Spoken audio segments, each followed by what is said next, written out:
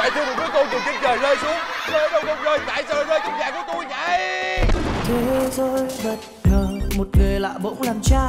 Thì điều gì sẽ xảy ra? Chăm lo các con đến tuổi già. Rồi từng ngày pha lót xa ôi tôi nghĩ suy sao mệt quá. Có lẽ ông trời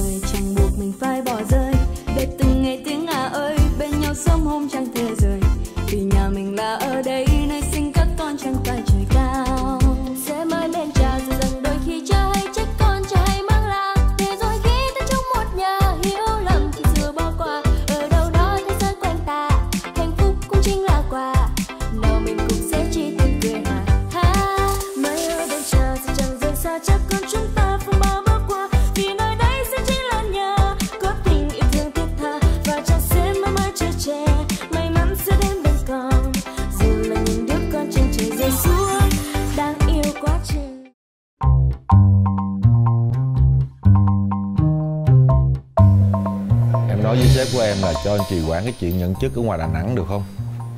Thật sự ra gia đình của anh bây giờ nó rối tùm lum tùm la chuyện hết đó em ơi. Anh không còn tâm trí nào mà anh anh đi ra ngoài đó anh làm việc được.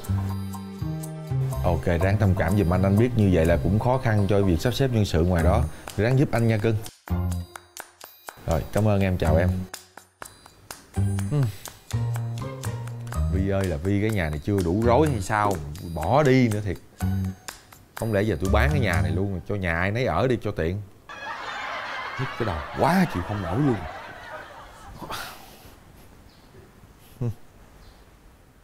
Bữa nay được ngày yên ngắn cũng đỡ. Ê này nè nha này nha đừng có kiếm chuyện nha nha nha. Kiếm chuyện cái gì? Tôi bận việc tôi phải đi trước. Ê. có tào lao. Bà mới là người đừng có tào lao á. Trước không tắm sao không tắm. Tới tôi vô tắm rồi là dành sao? Ủa, tắm cũng phải theo giờ nữa hả? Ừ. Tôi thích đó. Nè này nha thôi nha Bà không có được Bà đừng có gì hết. Thôi thôi. Trời ơi. Thôi nha ủa gì vậy? Ba coi cháu của ba kìa. Con có việc cách phải đi trước. Không nhường là không nhường. Chú coi con của chú kìa. Tự nhiên cái con đang có điện thoại. Nó nghe được Cái nó nổi hứng lên. Nó muốn đi tắm là sao? Tôi thích đó được không? Thôi nha ủa từ bao giờ phân biệt gì vậy hả? Hả? Từ bao giờ phân biệt như vậy con chú rồi cháu ba là sao? Chúng ta là người một nhà. Hai đứa là chị em với nhau. Có cái chuyện đi tắm không cũng dành là sao? Ủa cái nhà này có một một cái nhà tắm mà. Cái nhà tới hai cái nhà tắm luôn mà. Một đứa chỉ có lên lầu tắm một đứa tắm dưới đất là xong rồi có chuyện gì đâu. Nhưng mà con thích tắm ở dưới. Đó Chú thấy nó vô lý không? Trời ơi sao có cái gì đâu trời. Cái chuyện tắm rửa thôi mà. Dành nhau. Còn hơn ta dành địa bàn nữa. Cái ghê quá. Tôi nè tôi cấm thấy chưa? Trong nhà này tôi không muốn là dành nhà có chuyện tắm nha. Tôi không muốn nghe chữ tắm trong nhà này nữa. Con biết chuyện phải đi tắm trước con có việc gấp con phải tắm. Con phải tắm trước thôi thôi thôi thôi, thôi. đứng lại đứng lại đi. Nè bình tĩnh như tôi giải quyết. Con bận chuyện gì gấp? Dạ thì ở ngoài đường kìa người ta bán trà sữa mà giảm giá 70% à, số lượng có hạn nữa nên là con phải đi liền. Mới ly trà sữa không? Trời đất ơi thì có cái chuyện nói chung là đi tắm để đi xếp hàng đi mua trà sữa đúng không? Dạ. Tôi quyết định như vậy. Tôi giải quyết kiểu này là gọn gàng. Diệt Thi con đi tắm trước. Đây đây đây ba nói nghe là đây là đây là đây. Qua đây ngồi xuống đây. Nghe đây đây. Ngồi đây. Ngồi xuống đây xuống đây ba nói nghe nè. Bây giờ con ra ngoài đó con xếp hàng đi rồi con về con tắm nó phải sạch sẽ hơn không? Tắm xong rồi uống trà sữa nó phải thơm hơn không còn bây giờ tắm rồi chạy ra ngoài xếp hàng mồ hôi một kê không cũng vậy đúng không? con muốn tắm trước con nhỏ đó. Mất công chi đây nè cho tiền. Đi mua trà sữa khỏi phải đứng xếp hàng khỏi phải mất công rồi giảm 70% phần trăm mua thẳng ly về uống luôn được chưa? Vậy cũng được. Ừ nói nghe nè hỏi một câu tế nhị phải con ruột tôi không vậy kỳ quá à. Thì phải con ruột ba lúc nào cũng cười thôi. Con cười cái cho ba vui coi sao lúc nào cũng câu có cái nhà này nó căng thẳng lắm rồi con. Cười cái coi. Đó dễ thương nè cho trăm nữa nè. Cảm ơn được rồi ha. Đi, đi mua trà sữa ha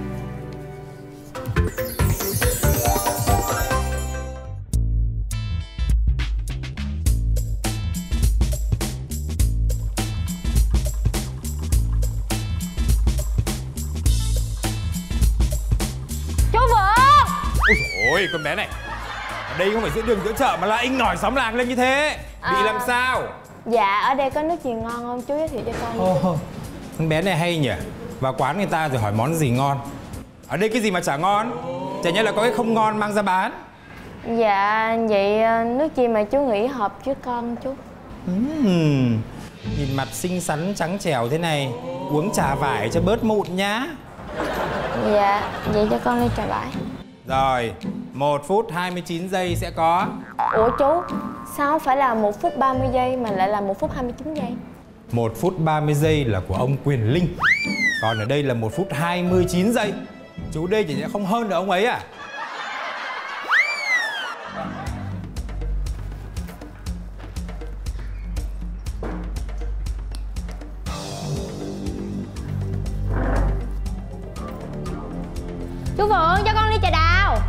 Ê Ngồi ở đâu vậy hả? Chỗ này chỗ của tôi mà.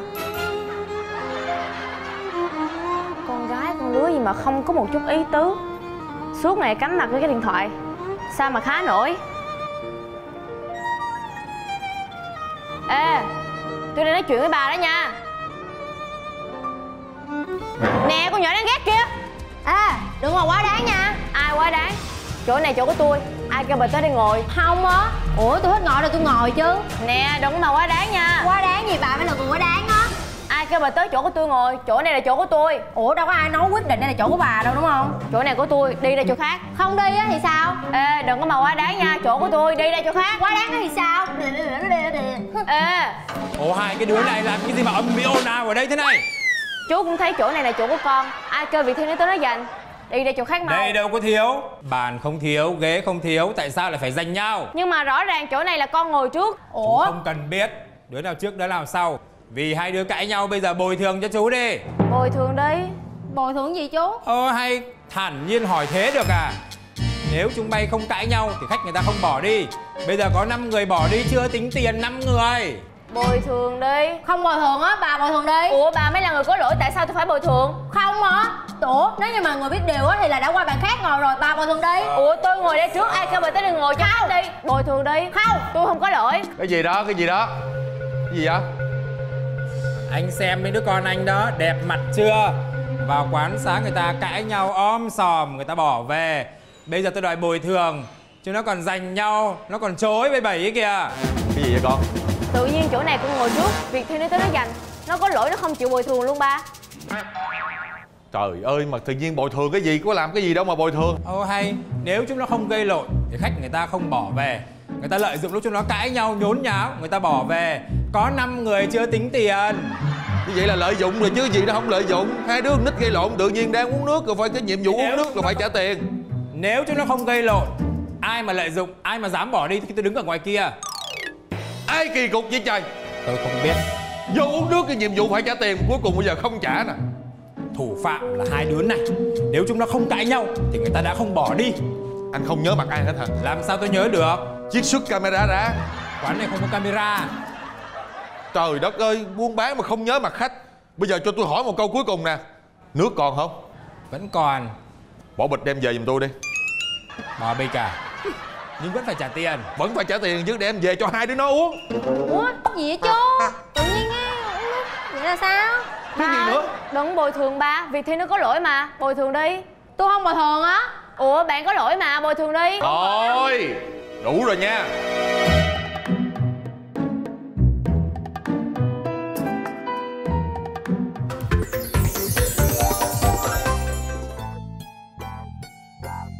Anh kiểm tra coi vô chưa? Ừm, Hiện đại nhỉ Qua rồi. Có trăm ngàn cũng bày đặt chuyển khoản. Nhưng mà sao dư 25 ngàn tôi mua ly cà phê của tôi đó. Rồi đó bây giờ xong hết rồi đó. Tôi mời anh đi ra ngoài đi. Ok à Quán của ai? À lộn anh làm ơn đi ra ngoài cho tôi có thời gian tôi dạy dỗ con cháu trong nhà tôi cái.